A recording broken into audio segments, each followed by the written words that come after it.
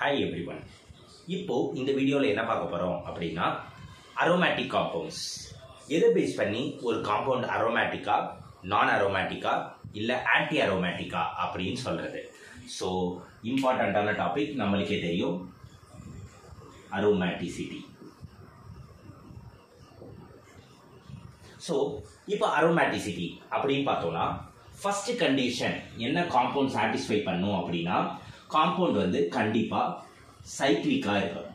ஓகேவா compound must be cyclic in nature second என்னவா compound இருக்கணும் அப்படின்னா பிளேனார் பிளேனார் ஸ்ட்ரக்சராக இருக்கணும். தேர்ட் வந்து சைக்ளிக் கான்ஜுகேஷன் இருக்கணும். ஸோ நல்ல கவனி. சைக்ளிக் அப்படின்னா நம்மளுக்கு என்ன தெரியும்? It should be a ring like structure கரெக்டாக சைக்ளிக்காக இருக்கணும்னா எனக்கு என்னது? ரிங் like ஸ்ட்ரக்சர் இருக்கணும். அடுத்து பிளேனார் மோஸ்ட்லி உங்களுக்கு இருக்க எல்லா மாலிகுலுமே பிளேனார் தான். சைக்ளிக் கான்ஜுகேஷன் எனக்கு நம்ம என்னோட ரெசனன்ஸ் வீடியோ நான் போட்டிருந்தேன் கரெக்டாக ரெசனன்ஸ் வீடியோவில் நான் பேசியிருப்பேன். பி ஆர்பிட்டல்ஸ் எப்படி இருக்கும் அவுட்டர் சர்ஃபேஸ் பற்றி மட்டும்தான் பார்க்கணும் எல்லாமே சொல்லியிருந்தேன். ஸோ கார்னர்ஸில் இருக்க எல்லா கார்பன் ஆட்டமும் என்ன ஹைபிரிடைசேஷன்ல இருக்கணும்? எஸ்பி டூ ஹைபிரிடைசேஷன்ல இருந்தால் அந்த மாலிக்குள்ளே என்ன இருக்கும்? சைக்ளிக் கான்ஜுகேஷன் இருக்கும். சார் sp2 டூ ஹைபிரிடைசேஷன் எப்படி கண்டுபிடிக்கிறதுன்னு கேட்டீங்கன்னா sp2 டூ ஹைபிரிடைசேஷன் இல்லை. ஹைபிரிடைசேஷனுக்கும் நான் வீடியோ போட்டிருக்கேன். எப்படி ஷார்ட்கட்ல கண்டுபிடிக்கணும்னு சொல்லியிருக்கேன். ஸோ ரெசனன்ஸ் வீடியோவில் நான் இந்த கார்பன் ஆட்டம் அந்த சர்ஃபேஸ்ல இருக்க பி ஆர்பிட்டல்ஸ் அதெல்லாம் கிளியரா பேசியிருப்பேன். ஓகேவா so delocalisation of pi electron conjugation இதெல்லாம் பத்தி நான் டெப்தா பேசியிருப்பேன். ஸோ பார்க்காதவங்க தயவு செஞ்சு பிளேலிஸ்ட்ல போய் செக் பண்ணி அந்த வீடியோஸை பாருங்க. ஸோ இந்த ஃபர்ஸ்ட் மூணு கண்டிஷனையும் சாட்டிஸ்ஃபை பண்ணிட்டு four n plus two pi electrons present ஆயிருந்தா அந்த காம்பவுண்ட் வந்து என்னது? அரோமேட்டிக் சப்போஸ் இந்த மூணு கண்டிஷனை சாட்டிஸ்ஃபை பண்ணிட்டு four n plus two pi electron இல்லாம ஃபோர் அண்ட் பை எலக்ட்ரான் இதை சாட்டிஸ்ஃபை பண்ணிச்சு அப்படின்னா அது வந்து என்ன அரோமேட்டிக் ஆன்டி அரோமேட்டிக் அப்போ இது வந்து four n plus two pi electron அரோமேட்டிக்னா four n pi electron satisfy பண்ணா என்ன? ஆன்டி அரோமேட்டிக் மறுபடி சொல்ற நல்ல கவனி இந்த மூணு ரூலை சாட்டிஸ்ஃபை பண்றது இல்லாம அடிஷ்னலா இந்த ரூலை சாட்டிஸ்ஃபை பண்ணுச்சுன்னா அந்த காம்பவுண்ட் என்னது? அரோமேட்டிக் காம்பவுண்ட் இந்த மூணு ரூலை சாட்டிஸ்ஃபை பண்றதோட இந்த ரூலை சாட்டிஸ்ஃபை பண்ணுச்சு அப்படின்னா அந்த காம்பவுண்ட் என்ன? ஆன்டி அரோமேட்டிக் சப்போஸ் இந்த மூணு ரூலையே சாட்டிஸ்ஃபை பண்ணல? ஏதோ இஷ்யூ இருக்கு. இந்த மூணு ரூல்லயே ஏதோ ஒரு ரூல் வந்து ஃபெயில் ஆயிடுச்சு. அப்படின்னா அந்த காம்பவுண்ட் எனக்கு என்னது? நான் அரோமேட்டிக் காம்பவுண்ட் ஸோ புரிஞ்சதா? எதை வந்து அரோமேட்டிக் காம்பவுண்ட்னு சொல்வேன் எதை ஆன்டி அரோமேட்டிக் எதை நான் அரோமேட்டிக்னு சொல்வேன்னு அப்போ இப்போ உனக்கு ஒரு டவுட் வரலாம். இந்த என்னன்றது என்ன சார் அப்படின்னு கேட்டேன்னா நல்ல கவனி. என்னன்றது என்னன்னா it is just a whole number it is just a whole number அதாவது zero one two three four அப்படி என்ன பண்ணி போயிட்டே இருக்கும். அப்போ இந்த four n plus two pi electron இருக்கு தெரியுமா? இந்த ரூலை தான் நான் என்ன ரூல்னு சொல்வேன்? ஹக்கிள்ஸ் ரூல் அப்படின்னு சொல்வேன். என்னன்னு சொல்லுவேன்? ஹக்கிள்ஸ் ரூல் அப்படின்னு சொல்லுவேன். ஸோ புரிஞ்சதா? இப்போ நல்ல கவனிய எப்படி சார் கால்குலேட் பண்றதுன்னா சிம்பிள் ஃபர்ஸ்ட் எக்ஸாம்பிள் நம்ம எல்லாருக்கும் தெரிஞ்சது. கரெக்டா பென்சின் பென்சின் ஸ்ட்ரக்சர் எனக்கு எப்படி இருக்கும்? இப்படி இருக்கும். கரெக்டா பென்சின் ஸ்ட்ரக்சர் இப்படி இருக்கும். இப்போ கவனிய ஃபர்ஸ்ட் கண்டிஷன் என்ன? இட் ஷுட் பி சைக்கிளிக் சைக்கிளிக்காக தானே இருக்கு? எஸ் பிளேனா இந்த போர்டு தான் பிளேன்னா எல்லா ஆட்டம்ஸுமே எனக்கு என்ன இருக்கு? பிளேன்ல தான் இருக்கு. சைக்ளிக் கான்ஜுகேஷன் என்ன கண்டிஷன் எல்லா கார்பனும் sp2 டூ ஹைபிரிடைஸ்டா இருக்கணும். இந்த கார்பன் டபுள் பாண்ட் இருக்கு கரெக்டா sp2 டூ இந்த கார்பன் டபுள் பாண்ட் இருக்கு sp2 டூ இந்த கார்பன் டபுள் பாண்ட் இருக்கு sp2 டூ இந்த கார்பன் டபுள் பாண்ட் இருக்கு sp2 டூ இந்த கார்பன் டபுள் பாண்ட் இருக்கு ஸோ sp2 டூ இந்த கார்பன் டபுள் பாண்ட் இருக்கு sp2 டூ அப்ப எல்லா கார்பனுமே எனக்கு என்ன ஹைபிரிடைசேஷன்ல இருக்கு? Sp2 டூவில் இருக்கு. சார் எப்படி சொல்றீங்கன்னா மறுபடி சொல்றேன் என்னோட ஹைபிரிடைசேஷன் வீடியோ போய் கண்டிப்பா மறக்காம பாரு. உனக்கே புரியும். அப்போ எல்லா கார்பனும் sp2 டூ ஹைபிரிடைசேஷன்ல இருக்கு. அப்போ எனக்கு என்ன இருக்கு? சைக்ளிக் கான்ஜுகேஷன் இருக்கு. கரெக்டா சோ இந்த மூணு ரூலை சாட்டிஸ்ஃபை பண்ணிடுச்சு. அதனால இந்த காம்பவுண்ட் என்ன கிடையாது? நான் அரோமேட்டிக் கிடையாது. இப்ப பாரு எத்தனை பை எலக்ட்ரான்ஸ் இருக்குன்னு கவுண்ட் பண்ணணும்? Bond is made up of two electron கரெக்டா இது வந்து எனது பை பாண்ட் இந்த பை பாண்ட்ல எனக்கு எத்தனை இருக்கு? ரெண்டு எலக்ட்ரான் இருக்கு. பை பாண்ட்ல பிரசன்ட் ஆயிருக்க எலக்ட்ரானை தான் என்னன்னு சொல்லுவேன். பை எலக்ட்ரான்ஸ் அப்படின்னு சொல்லுவேன். கரெக்டா பை பாண்ட்ல பிரசன்ட் ஆயிருக்க எலக்ட்ரானை தான் என்னன்னு சொல்லுவேன். பை எலக்ட்ரான்ஸ் அப்படின்னு சொல்லுவேன். அப்போ இதுல மொத்தம் எனக்கு எத்தனை பை எலக்ட்ரான் இருக்கு?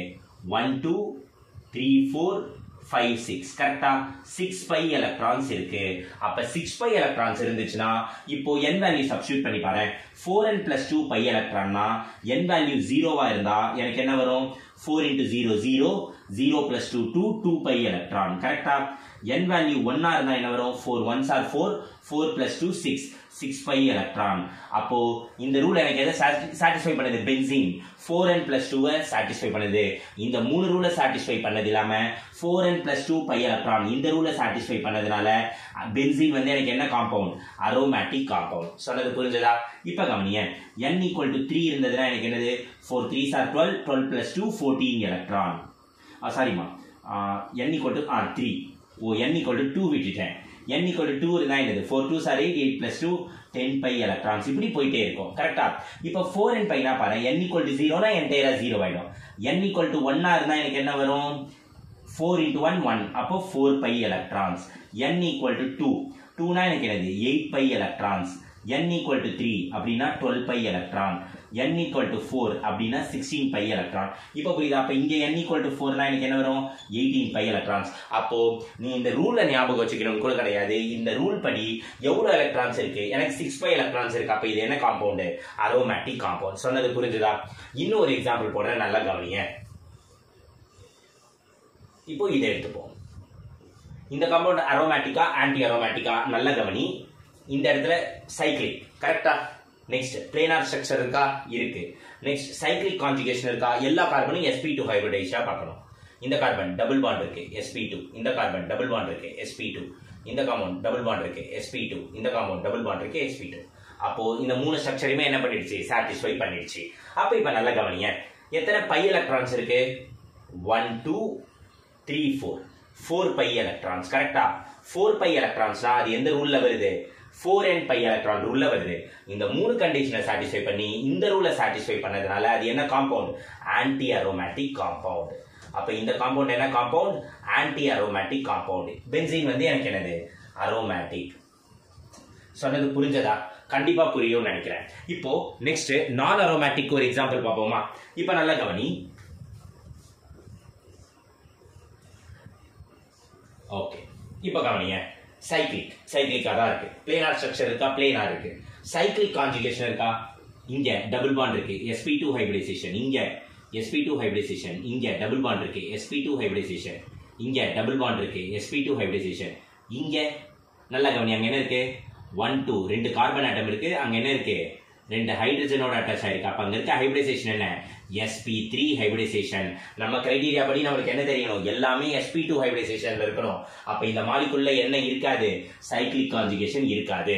சோ அப்ப இந்த காம்பவுண்ட் என்னது? இதோட பெஸ்ட் எக்ஸாம்பிள் நான் அரோமேட்டிக் சோ கண்டிப்பா புரிஞ்சிருக்கும்னு நினைக்கிறேன்.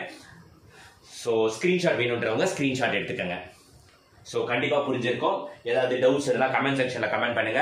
So this is all about Huckel rule so Huckel ரூலை யூஸ் பண்ணி ஒரு கா- இதுதான் ஹக்கல் ரூல் நம்ம என்ன பண்ணலாம்? ஒரு காம்பவுண்ட் ஆர்கானிக் காம்பவுண்ட் கொடுத்தா அது அரோமேட்டிக்கா ஆன்டி அரோமேட்டிக்கா நான் அரோமேட்டிக்கா அப்படின்னு நம்மளால சொல்ல முடியும். ஸோ ரொம்ப ரொம்ப இம்பார்ட்டன்ட் இது வந்து ஒரு பேசிக் ஆர்கானிக் மாலிகுலோட கிளாசிஃபிகேஷன் ஒரு காம்பவுண்ட் கொடுத்தா அது அரோமேட்டிக்கா நான் அரோமேட்டிக்கா ஆன்டி அரோமேட்டிக்கான்னு சொல்றது நெக்ஸ்ட் வீடியோவில் ஒரு பிவை கியூஸ் பார்ப்போம். சரியா? இது பேஸ் பண்ணி. ஓகேமா wish you all the best best. Thank you.